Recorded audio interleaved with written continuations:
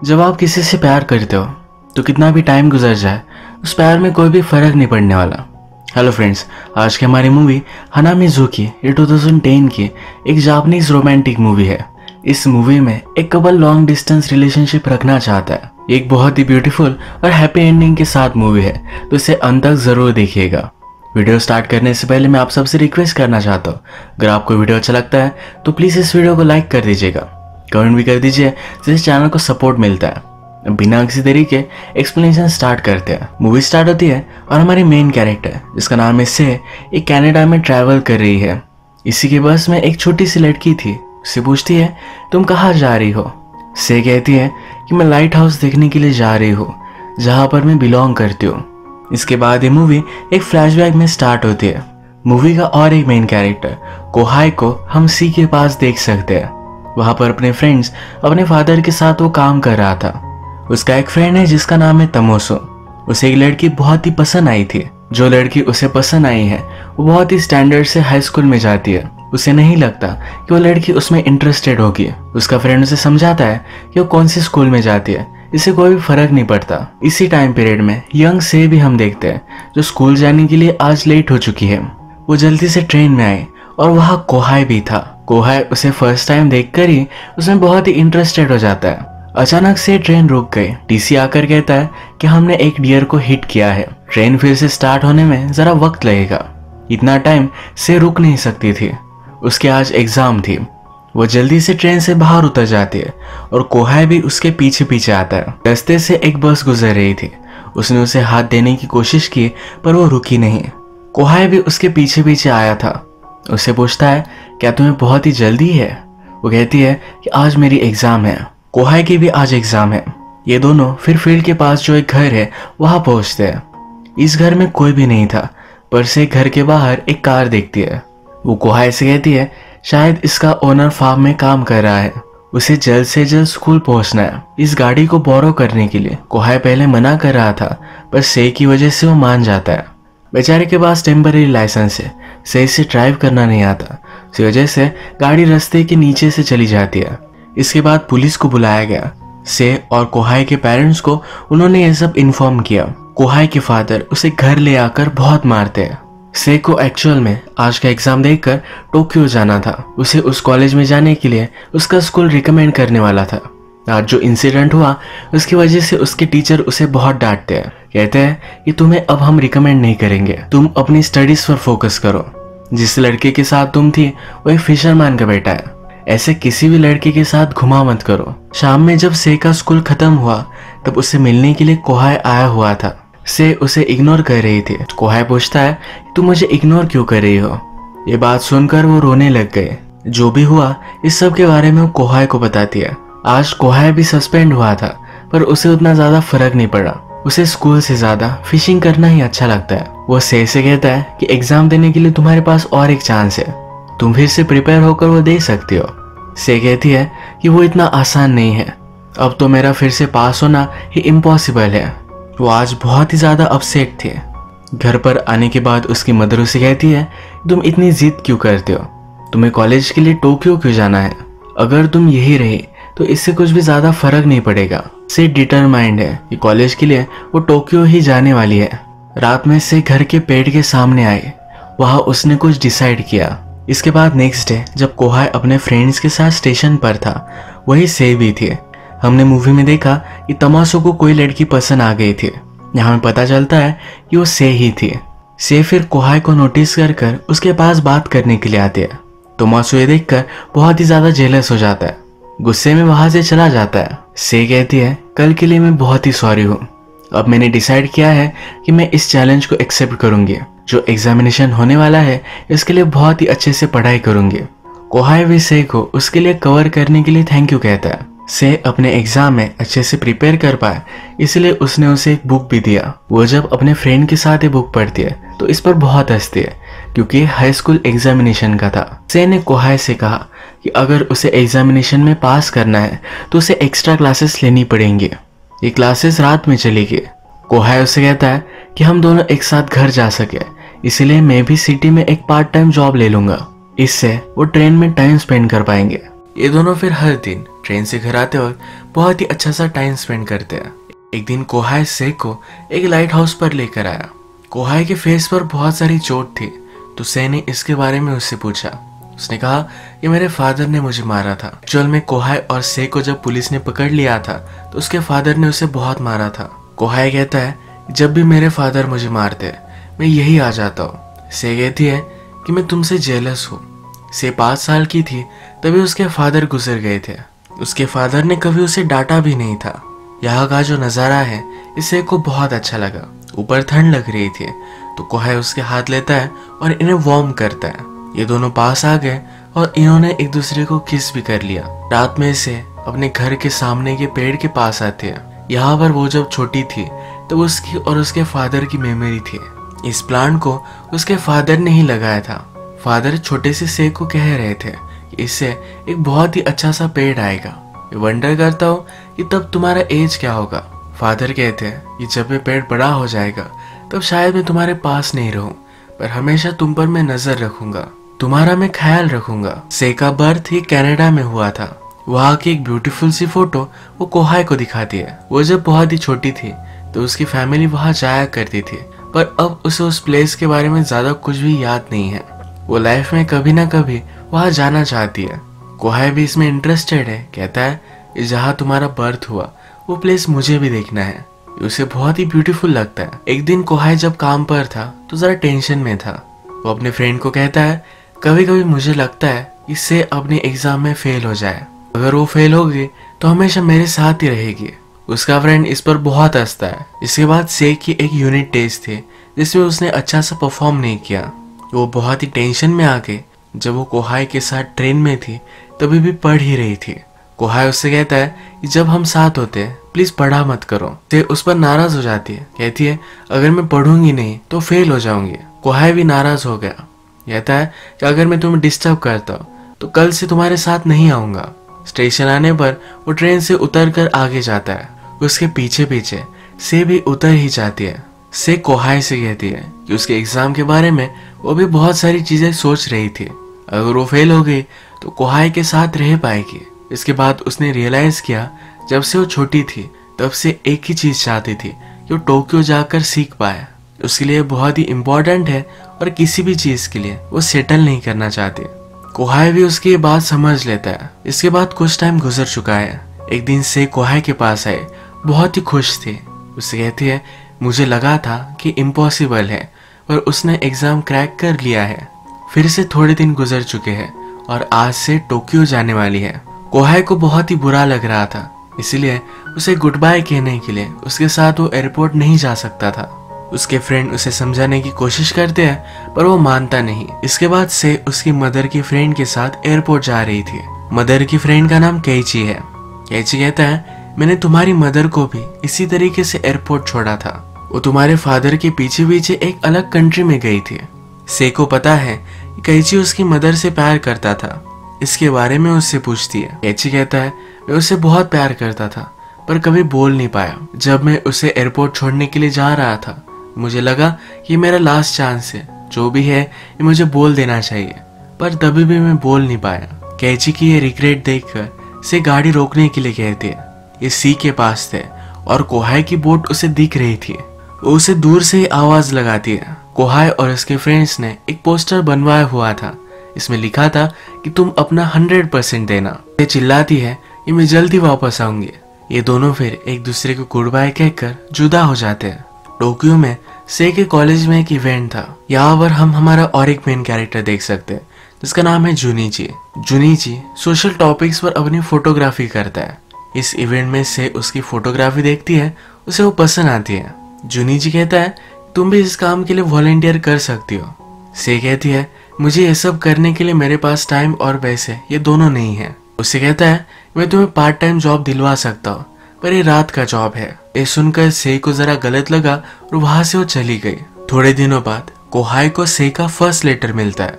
वो बहुत ही एक्साइटेड था। से ने अपने टेलीफोन का नंबर इसमें भेजा था तो उसे वो कॉल करता है। से कहती है कि वो घर को बहुत मिस करती है। कोहाई उसका मज़ाक लेता है, कहता है, तुम्हें तो ये प्लेस पसंद भी नहीं है। इन दोनों को एक दूसरे से बात कर कर बहुत अच्छा लगा। एक दिन से का रात में भी क्लास था। यहाँ पर उसे जुनीची पढ़ा रहा था। अब वो रियलाइज़ करती है कि जुनीची रात में काम करने के बारे में बता रहा था। तो यही टीचिंग का वो काम था। ये दोनों फिर बात करते हैं। से ने जुनीकी का बहुत सारा वर्क देखा। वो कहती है, इसमें बहुत सारे बच्चों के फ़ोटोज़ है। जुनीची मज़ाक करता है, क्योंकि मेरा दिल बच्चों की तरह साफ़ है। इस पर से बहुत हंसती है। इसके बाद जुनीची के रिकमेंडेशन से से ने भी पार्ट टाइम टीचिंग का जॉब करना स्टार्ट कर दिया। वो भी छोटे बच्चों को पढ़ाने लग गए। कोहाय रात में से को कॉल करने की कोशिश करता था। और वो काम पर थी तो उसका कॉल उठा नहीं पाती थी। से इस समर घर आने वाली थी। इस पार्ट टाइम जॉब की वजह से घर नहीं आ पाती। इन सब चीज़ों की वजह से कोहाय जरा अपसेट था। उसका काम में भी मन नहीं लग रहा था। जहाँ पर वो काम करता है, वहीं पर सब जगह पर नज़र रखने का काम रित्सुकु करती है। एक्चुअल में कोहाय को लाइक करने लग गई है। वो कोहाय के फ्रेंड से पूछती है, इसके साथ हुआ क्या है? जो भी सब हुआ कोहाय का फ्रेंड उसे बता देता है। रित्सुको को लगता है कि से कोहाय को सिर्फ़ इग्नोर कर रही है। वह उसका कोई और बॉयफ्रेंड हो गया होगा। एक दिन कोहाय को काम करते करते चोट आ गई। हॉस्पिटल में गया तो से की मदर से मिला। से की मदर वहीं पर नर्स है। वो कोहाय को पहचान लेती है। उसे पूछती है, तुम में और से में अब रिलेशनशिप कैसी है? वो समर में आने वाली थी, पर अब नहीं आएगी। उसे सलाह देती है कि तुम्हें उसे जाकर मिल आना चाहिए। अगर ऐसा ही चलता रहा तो उसे और कोई उड़ा कर लेकर जाएगा। मदर भी चाहती थी, इसे फिर से घर वापस आए। कोहाय फिर डिसाइड करता है और डायरेक्टली टोक्यो आ जाता है। वो से का वेट कर रहा था, पर से जुनी जी के साथ घर आ रही थी। वो दोनों हँसते हँसते एक दूसरे का मज़ाक लेते लेते आ रहे थे। कोहाय को लगा कि इन दोनों में अब रिलेशनशिप है। वो बहुत ही सैड हो गया। से भी कोहाय को नोटिस करती है। उसे रात में डिनर करने के लिए एक अच्छे से रेस्टोरेंट में लेकर आती है। वो पूछती है मुझसे तुम नाराज़ हो? तुमसे मिलने के लिए मैंने बहुत सारा वेट किया है। कोहाय कहता है, मैंने भी बहुत वेट किया है। उसे फिर गुस्सा आ गया। वहाँ से वो जा रहा था। जाते जाते उसका एक आदमी को धक्का लग गया। इस फाइट में कोहाय ने, इस फाइट में कोहाय ने से के लिए जो गिफ्ट लाया था, जरा सा टूट जाता है। कोहाय उस आदमी को बहुत मारता है। वो खुद भी जरा हर्ट हो गया था तो उसे उसे घर लेकर आती है। उसका वो सही से फ़र्स्ट एड करती है। दोनों फिर करीब आ गए। सुबह होने पर कोहाय अपना गिफ्ट फिक्स करता है। जब से टोक्यो आ रही थी लास्ट टाइम जब उन्होंने गुड बाय किया था, कोहाय जिस बोट में था, ये वही बोट का रिप्लिका है। इस बोट में ये भी लिखा है कि तुम तुम्हारा बेस्ट करना। से को ये गिफ्ट बहुत ही अच्छा लगा। वो कोहाय से पूछती है कि अगर हम एक दूसरे से दूर रहे तो क्या हमारी रिलेशनशिप में कोई डिफरेंस आएगा? कोहाय कहता है, ऐसा कुछ भी होने नहीं वाला। कोहाय फिर से से मिलकर वहाँ से चला जाता है। इसके बाद कुछ टाइम गुजर चुका है। से को अब अपनी डिग्री मिल चुकी है। वो अलग अलग फर्म्स में जाकर जॉब के लिए अप्लाई करती है। उसे कहीं भी अच्छे से जॉब की ऑफ़र नहीं मिलती। वो इस वजह से बहुत ही सैड थी। उसे फिर से वहाँ जुनीची मिला। वो उसे कहती है कि, मैंने इतनी सारी मेहनत ली। मेरे घर से दूर मैं पढ़ने के लिए आई। पर फिर भी मुझे सही से जॉब ऑफ़र नहीं मिली। वो वंडर करती है कि अब वो कर क्या रही है। जुनी जी कहता है कि मैं खुद क्या कर रहा हूँ, इसके बारे में भी मुझे कुछ भी आइडिया नहीं है। वो अपनी फोटोग्राफी से वर्ल्ड में कुछ चेंज लाना चाहता है। इन चीज़ों को अचीव करने के लिए अब वो न्यूयॉर्क जाने वाला है। वो सही को समझाता है, एक अच्छी जॉब अचीव कर लेना, यही ज़िंदगी नहीं होती। लाइफ में तुम एक्चुअल में क्या करना चाहती हो, ये तुम्हें फॉलो करना चाहिए। इसके बाद हम देखते हैं कोहाय के फादर उससे बात कर रहे हैं। उन्होंने अपना बिज़नेस कंटिन्यू करने के लिए बहुत सारा लोन लिया था। वो इस लोन को पे नहीं कर पाए। इस वजह से उन्हें उनकी बोट सेल करनी पड़ेगी। कोहाय का हमेशा से सपना था कि वो एक अच्छा फिशरमैन बन पाए, पर अब यह पॉसिबल नहीं हो पाएगा। रात में उसे को कॉल लगाता है। कहता है, शायद मुझे मेरा ड्रीम छोड़ देना चाहिए। मैं तुमसे मिलना चाहता हूँ। क्या मैं तुम्हारे पास आकर रह सकता हूँ? वहाँ पर मैं कोई ना कोई जॉब तो ढूंढ ही लूँगा। से खुद बेचारी बहुत ही ज़्यादा टेंशन में थी। उसे यहाँ कहीं भी जॉब नहीं मिल रहा था। वो उससे कहती है मुझे इस बात पर सोचना पड़ेगा। जल्द से जल्द मैं तुम्हें तुम्हारा आंसर दे दूँगी। इसके बाद नेक्स्ट सीन में हम देखते हैं, कोहाय अपने फादर के साथ लास्ट टाइम फिशिंग करने के लिए जा रहा था। उसके फादर उसे कहते हैं मुझे पता है, तुम्हें बचपन से अच्छा फिशरमैन बनना था। वो बहुत ही सॉरी है कि अब उन्हें बोट सेल करनी पड़ेगी। उससे कहते हैं अगर तुम चाहते हो तो कभी भी इस ड्रीम पर गिव अप मत करो। अचानक से बारिश स्टार्ट हो गई। इस बोट को कंट्रोल करने के लिए कोहाय जरा बिज़ी हो गया। अचानक से उसके फादर को हार्ट अटैक आ गया। उनकी डेथ हो गई। फादर के गुजर जाने के बाद फैमिली की सब रिस्पॉन्सिबिलिटीज कुहाय पर आ गई है। वो से को कॉल करता है। कहता है, अब मैं आ नहीं पाऊँगा। उसकी जो भी सब रिस्पॉन्सिबिलिटीज है, इसे वो ऑनर करेगा। तुम्हारे जो भी सब ड्रीम्स है, ये तुम पूरे करो। अब से और कोहाय एक दूसरे से मिल नहीं सकते। तो वो बहुत ही सैड था। एक दिन वो अपने फ्रेंड्स के साथ हैंग आउट कर रहा था। यहाँ पर रित्सु को भी थी। वो बहुत ही दुखी था तो उसने बहुत सारी पी ली। जहाँ पर ये सब थे, ये रित्सुको का ही शॉप था। कोहाय बहुत ही ड्रंक था तो यही वो रात में सो जाता है। थोड़े टाइम में वो अपनी नींद से जग गया। रित्सुको अब उसे अपनी दिल की बात बताने वाली थी, पर बोल नहीं पाई। कोहाय बहुत ही हर्ट था तो उसे पकड़ लेता है उसके साथ इंटीमेट हो जाता है। अब मूवी में और कुछ टाइम गुजर चुका है। से अब अपना करियर बनाने के लिए न्यूयॉर्क आ चुकी है। से को एक अच्छा सा जॉब मिल गया है। वहाँ पर एक दिन उसे जुनी जी मिलने के लिए आता है। जुनी जी भी से के ऑफ़िस में ही काम करता था। उसने ही से को जॉब दिलवाने में मदद की थी। वो और भी अच्छी फोटोग्राफी करने के लिए कम्बोडिया गया हुआ था। अब वो वापस आ गया है तो से उसे देखकर बहुत ही एक्साइटेड है। वो जुनी जी के लिए बहुत ही अच्छा सा खाना बनाती है। वो कहता है, बहुत दिनों बाद मुझे प्रॉपर खाना मिला है। वो नोटिस करता है और से से कहता है, तुम फिर से हंसना सीख गई हो। लास्ट टाइम मैंने तुम्हें जब देखा था, उससे अब तुम में बहुत ही ज़्यादा इम्प्रूवमेंट है। ये दोनों फिर रात में घूमते घूमते रिवर के पास आए। जुनी जी कहता है, जब नाइन इलेवन हुआ तो मेरे आग के सामने हुआ था। जो भी चल रहा था, इससे मुझे लगा मुझे इसमें कुछ डिफरेंस करना चाहिए। इसीलिए जुनीची अब वॉर में जाकर वहाँ के बच्चों की फ़ोटोज़ लेता है। उसे लगता है कि दुनिया में कितनी भी चीज़ें गलत क्यों ना हो जाए, पर बच्चों की आँखों में जो इनोसेंस होता है हमेशा वैसे का वैसा ही रहेगा। अपनी फोटोग्राफी से इस वर्ल्ड में वो कुछ अच्छा मैसेज देना चाहता है। वो सही से कहता है, मैं तुम्हें देखना चाहता था, इसीलिए डेंजर लेकर मैं तुमसे यहाँ मिलने के लिए आया हूँ। उसने यहाँ कन्फेस किया कि वो हमेशा उसे लाइक करता था। उससे शादी करने के लिए उसे प्रपोज भी कर लेता है। इसके बाद हम देखते हैं कि से अपनी एक फ्रेंड की शादी में आई हुई थी। उसके फ्रेंड की वेडिंग कोहाय के फ्रेंड के साथ ही हो रही है। इसका मतलब है उसे यहाँ कोहाय भी दिखता है। यहाँ हमें पता चलता है कोहाय और रित्सु को इन दोनों ने शादी कर ली। कोहाय और से जब बात करते हैं। तो कोहाय कहता है कि उसकी वाइफ बहुत ही अच्छी है। उसका फैमिली का बहुत ही अच्छा सा ख्याल रखती है। यहाँ पर से ने नोटिस किया, कोहाय बहुत सारा ड्रिंक करता है। पूरी वेडिंग में कोहाय और से एक दूसरे के साथ ही थे। ये रित्सुको को अच्छा नहीं लगा। घर आकर से कोहाय ने उसे जो गिफ्ट दिया था, इसे देख रही थी। अब एक दिन से और कोहाय लाइट हाउस के पास मिले। वो कोहाय का गिफ्ट उसे फिर से वापस कर देती है। वो कहती है कि शायद मैं जापान फिर से कभी ना आऊँ। उसे अब जो जॉब मिली है, ये बहुत ही अच्छी है। और वही न्यूयॉर्क में वो सेटल होना चाहती है। वो कोहाय से कहती है कि अब मेरी भी शादी होने वाली है। आज वो कोहाय से लास्ट टाइम मिली, उसे बात कर पाए तो उसे अच्छा लगा। कोहाय फिर से को घर ड्रॉप कर देता है। अब ये लास्ट टाइम मिल रहे हैं तो एक दूसरे के पास भागते भागते आते हैं, गले लगा लेते हैं। ये दोनों रो रहे थे। से कहती है कि प्लीज़ हमेशा खुश रहना। कोहाय रात में जरा लेट वापस आया। रित्सु को उस पर बहुत ही नाराज़ हो गई। उसे पता चल गया था कि वो से से मिलने के लिए गया हुआ था। वो कहती है कि हमारा बिज़नेस सही से चल नहीं रहा। हमें शायद सब कुछ सेल करना पड़ेगा। और आज रात तुम कहाँ गए थे? इस पर इनका बहुत बड़ा झगड़ा हो जाता है। रित्सु को उसे छोड़कर चली जाती है। अब कोहाय का बिज़नेस बैंक हो चुका है। अब उसकी मदर और सिस्टर एक रिलेटिव के पास जाकर रहने वाले हैं। वो बहुत ही अकेला पड़ गया। टीवी पर हमें फिर न्यूज़ दिखाई जाती है, जहाँ हमें पता चलता है कि जुनी की डेथ हो गई।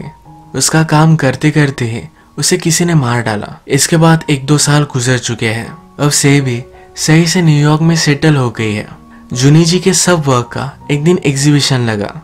से इसमें उसका जो भी मैसेज था, ये सबको से बताती है।